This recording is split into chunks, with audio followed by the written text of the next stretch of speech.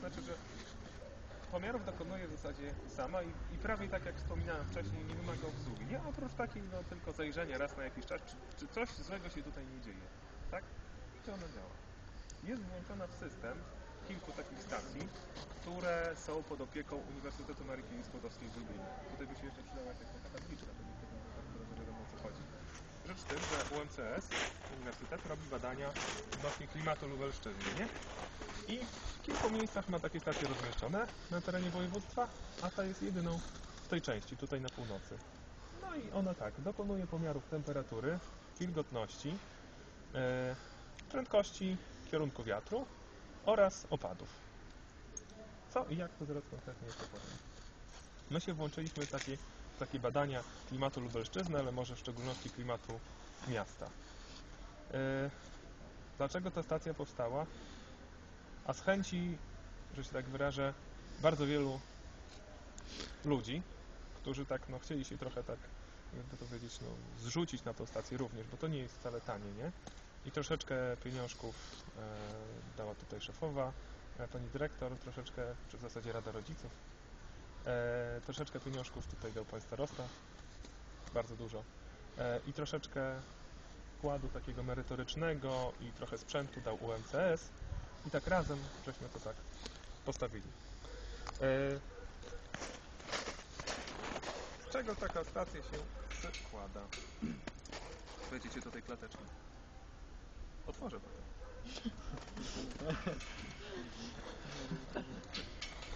Tam będzie prędkość kierunek wiatru. E, Tam jest też taki pręt, który wystaje od tej rureczki, tego nożku. To jest e, nic innego jak piorunochron. Jakby tam piorun uderzył, to akurat po tamtą drutę powinno sobie wszystko. No podamy. E, z tamtego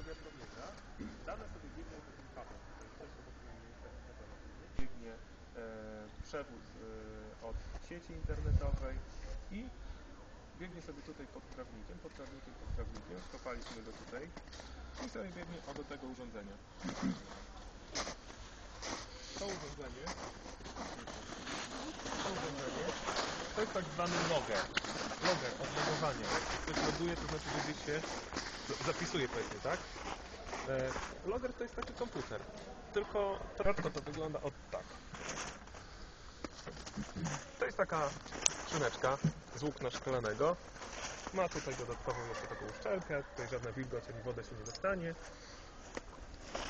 E, To jest serce tego całego systemu. Logger, e, zasilane z akumulatora lub teraz tak normalnie z sieci. To jest taki akumulator zapasowy. Jakby się coś stało, nagle by odłączyli zasilanie, nie? na przykład ja teraz odłączę zasilanie, to, pracy, to nadal stacja pracuje, nie? I zbiera te dane meteorologiczne, na przykład stamtąd, z tamtego wiatromierza. Tu mamy jeszcze takie różne dziwne urządzenia, typu tam właśnie no, przewód od sieci, tu są jakieś takie antyprzepięciowe urządzenia. Jak? To jest? E, termometr i hygrometr w jednym. Termometr służy do pomiaru, a Temperatury. hygrometr Wilgotność. wilgotności, tak jest. To jest, ja to tak na chwilkę tylko wyciągnę. To jest takie urządzenie, no niepozorne, wygląda trochę jak mikrofon, nie? O, takiej fińskiej firmy Weissala, bardzo dobrej jakości, jeszcze parę lat tutaj pobędzie. Dokładne, wykalibrowane. Jeżeli wskazuje minus 1,8, to znaczy, jest minus 1,8, a nie minus 1,7. Rozumiemy? E, tak więc jest dokładne i porządne. To jest osłona antyradiacyjna. Osłona antyradiacyjna ma zapewnić niedostawanie się promieni słonecznych tutaj do tego e, czujnika. Powietrze przepływa, owszem, wpływa i wypływa, ale promieniowanie słoneczne nie. Od spodu jest pomalowane tak, takim czarnym, czarną farbą. W ogóle to jest specjalne tworzywo, proszę Państwa, które nie nagrzewa się, ani nie robi się, że się tak wyrażę, zimne. E, jak był taki upał, 30 parę stopni, to można było dotknąć tej, osłony i to ona się w ogóle nie nagrzewała praktycznie. Nie wiem, no takie specyficzne jest to tworzywo, poza tym jest pomalowane na kolor biały, więc odbija promieniowanie słoneczne, tak jak powinno to być w rzeczywistości. Tutaj, aha, aha, oczywiście ten termometr y, jest podłączony kabelkiem, o tutaj sobie kabelek ten szary idzie i to jest bodajże ten lub ten, ten chyba. To urządzenie jest tutaj podpięte do komputera. Tam sobie biegną dane. Tutaj mamy drugi termometr. Termometr do pomiaru temperatury przy gruncie na wysokości 5 cm. E, tu też jest taka osłona antyradiacyjna, a spodem jest e, czujnik. Jest to zwykły taki termometr elektroniczny. I ten przewód jest też tam zakopany, sobie tym cieńszym peszlem tutaj wchodzi i podpięty jest tutaj. I też są dane zbierane z tego termometru.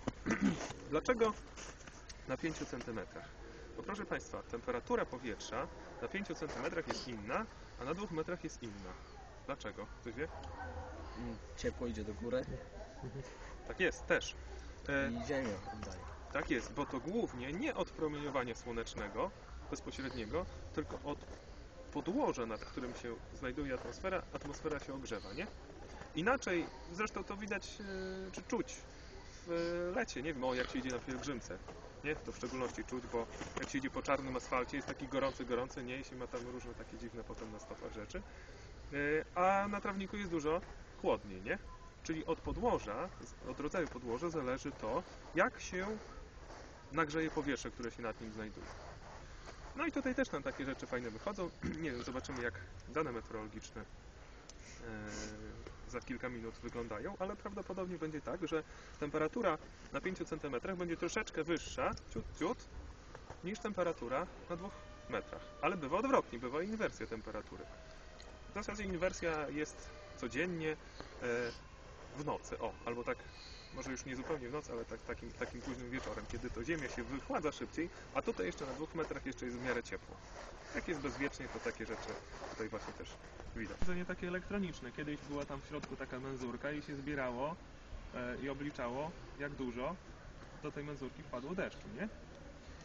A dzisiaj to wygląda tak. To jest tam pełna elektronika, to jest taki lejeczek.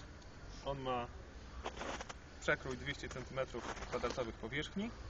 E, W środku jest takie siteczko, właśnie żeby tam się nie nazbierało różnych niepotrzebnych papierków, no, papierków, tam jakichś zanieczyszczeń, żeby nie, zatkał, żeby nie został zatkany ten lejek. Co my tu jeszcze mamy? Karimatę, taką zwykłą karimatę, którą jest wyłożoną, są, wyłożone ścianki. Rzecz w tym, proszę Państwa, że karymata trzyma ciepło. Jak temperatura spada poniżej 4 czy 5 stopni, włącza się radiator. Ciepło. Ciepło. Nie? No można, można, taką opartego. Chociaż nie jest taki super wydajny, ale, ale jest ten radiatorek, tutaj on daje ciepło i e, jeżeli temperatura spadnie poniżej zera, tak? Zacznie nam w zimie, jeżeli pada śnieg, to nie mierzymy tym deszczomierzem opadu deszczu, jeżeli pada śnieg, tylko jest tak zwane... E, najpierw go trzeba w pionie ustawić w ogóle, nie może być pod skosem, tylko w pionie i tutaj ma taką libelkę. Libelka to jest taka jakby poziomica, tam jest taki pęcherzyk powietrza i widać, czy to jest w pionie ustawione, czy nie. A chodźcie jakoś może z tej strony, albo tutaj ze środka, bo tak nie wiem, czy coś tam będziecie widzieć. E, I ustawia się go w pionie i teraz tak, jak się wleje tu trochę wody, to tu jest taka ważka. I się raz z jednej strony przeleje, a raz z drugiej. Raz jedna się napełni, raz druga. I w ten sposób ważka się przechyla. Ma ktoś wodę na przykład? No właśnie. Nie wiem, czy to, ale to szybko się nie rozpuści. Byście zobaczyli, jak to funkcjonuje. No tak czy siak, komputer zlicza, tutaj ma taki czujnik i komputer zlicza, proszę z tej strony, y, ile razy ta ważka się przechyli. Chwycili? Jeden raz to jest, prawdopodobnie, o ile dobrze pamiętam, 1,1 mm e, opadu. Co to znaczy 1,1 mm? To znaczy 1,1 litra. 1 mm opadu to jest znaczy 1 litr na metr kwadratowy powierzchni. Tak to można policzyć. No i dobra, i to jest cały deszczomierz. I deszczomierz też jest podpięty oczywiście do tego logera, nie? I tam te dane wszystkie są zbierane. I tak jak powiedziałem, może działać również w zimie. Tutaj ma taką skrzyneczkę z zasilaniem. Zamyka się go w taki specyficzny sposób. Aha, jeszcze jedna rzecz, bo ktoś sobie pomyśli, aha, teraz tak. Wpadł tutaj SOR, pochybotał, pochybotał. I, że tak wyrażę, tam naleciało trochę impulsów, nie?